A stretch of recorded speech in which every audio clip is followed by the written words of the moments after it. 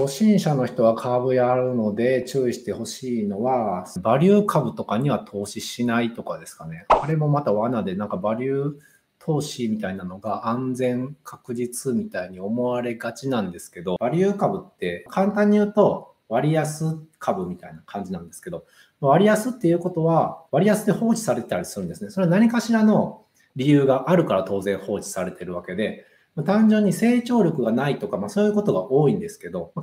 え方としては安いから、いつか相場全体が上がったり、景気が良くなったら上がるだろうと。で、逆でも、もともとが安いから下がんないだろうみたいな感じが、まあ基本的な考え方で安全みたいな感じなんですけど、上がらない限りずっと持ってて配当だけもらい続ければいいわみたいなのが、まあバリュー投資なんですけど、それを資産がたくさんある人は2%とか3%とかの配当でも全然良かったりするんですよ。で1億持ってたら300万入ってくるわけじゃないですか。10億持ってたら3000万円入ってくるわけじゃないですか。じゃあ別にずっと持ってようとか待ってようとかでもいいと思うんですけども、それを資金が少ない人がやってしまうと、結局、じゃあ300万円で株始めました、夢見て、これをすごい増やすぞって言って始めても、その300万円がずっとその株で結局下がっても売れないんですよね、バリュー株っていうのは。安い、割安だから放置と思って買ってるやつが下がると、もっと放置になっちゃうんですよ。なので、下がっても売れないと。でだずっと5年間ぐらいじゃ上がらなかったとしたら、そこで配当を例えば3%ずつもらって、9万円ずつもらったとしても、まあ、3×5 でも15%しか増えないわけじゃないですか。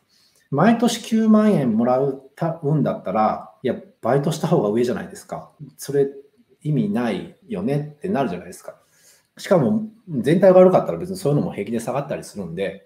ダメだったりすることが多いですね。なので、資金がたくさんある人は全然、全体がすごい下がった時に、それでもバリュー株っていうのは全然、それでも下がるんですよ、やっぱり。他に比べて下がる幅が少ないだけでやっぱ下がるんですね。そういう時に割安で放置されてるやつがもっとめちゃめちゃ割安になった時に買って、もう何年でも放置するよみたいな、その3%でも全然いいよみたいな感じだったらいいんですけど、その300万を10倍に3000万にしてやるぜとか1億にするぜって言って入ってきた人は、バリュー投資みたいなのは絶対しない方がいいですね。増やしたいなら、でもそれが当然専業だとそれじゃもう生活できないですし、兼業でも増やさなくてもいいから、その毎年確実に3%もらいたいとかだったら、まあそれでもいいのかな。うん。でもそれだと投資の意味もあんまないですしね。うん。まあ確実でも全然ないですしね。まあそういうのをちょっと気をつけてください。